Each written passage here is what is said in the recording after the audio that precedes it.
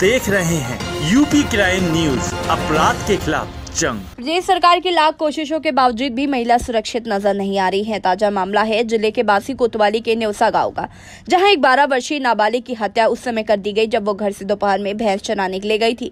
गाँव के बाहर प्राथमिक विद्यालय की बाउंड्री के अंदर बोरे एक लाश मिलने की सूचना पर कई थानों की फोर्स मौके पर पहुँची। पुलिस टीम के साथ फोरेंसिक टीम भी पहुँची। बोरे को खोलने पर जो लाश निकली, उसकी पहचान नेवसा गाँव के निवासी के रूप में हुई। बता तो चले नेवसा गाँव की नहर के निकट भैंस चराने गई नाबालिग लड़की अंजू की निकली। लाश मिलने की सूचना से गाँव में मातम छा गया। मृतक नाबालिग लड़की की माँ ने उसकी पहचान अपनी पुत्री के रूप में चप्पल को देख के किया।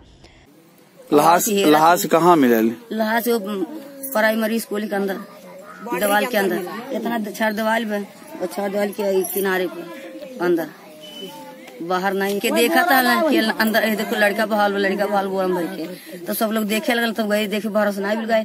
तो अंदर से इन्हें बोला गए अपने मालिक के। तो कहे देख दबोच के मारा नखून लगा गाजा फोजा सब उनकर गेल फ़ोन। तो इससे आपको क्या लग रहा है? आपकी लड़की की हत्या हुई है हाँ हत्या हुई है। थरी छोट पड़ गई। तो हम कप, नहाए के दो बाल्टी कपड़ा पहन के जाई थन। कपड़ा पहन के जैसे का पता चल रहा हो तो कार के सन लहास बहाव थे गाँव चौकीदार हो, हमें जा देख स्कूलों में।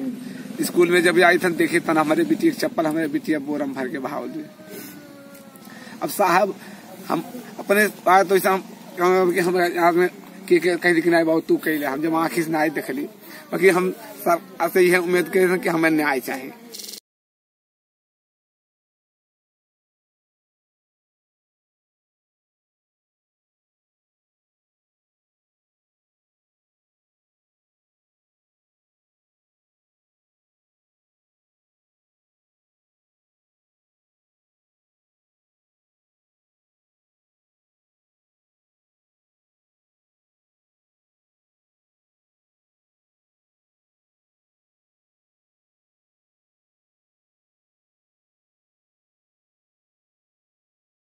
नाबालिग लड़की के गले में खरोच के निशान मिलने की बात भी माँ बता रही है। ऐसे में रेप के बाद हत्या की आशंका जताई जा रही है। पुलिस ने लाश को कब्जे में ले लिया है और पोस्टमार्टम के लिए भेज दिया है। वहीं बासी सर्किल के प्रभारी सीओ दिन दहाड़े हुई एक नाबालिग लड़की की निर्मम हत्या को गंभीरता से लेने की बात कर रहे हैं और जल्द ही खुलासे का दावा कर रहे हैं। पुलिस रिपोर्ट आने के बाद ही कुछ कहने की बात कह रही है।